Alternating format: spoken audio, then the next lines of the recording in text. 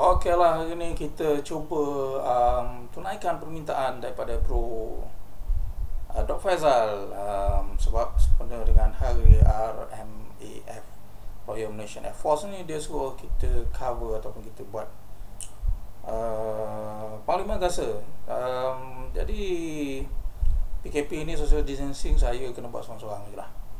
Uh, saya berjamas tak boleh lah nak panggil. Um, tapi um, ada special appearance daripada you know who right okay.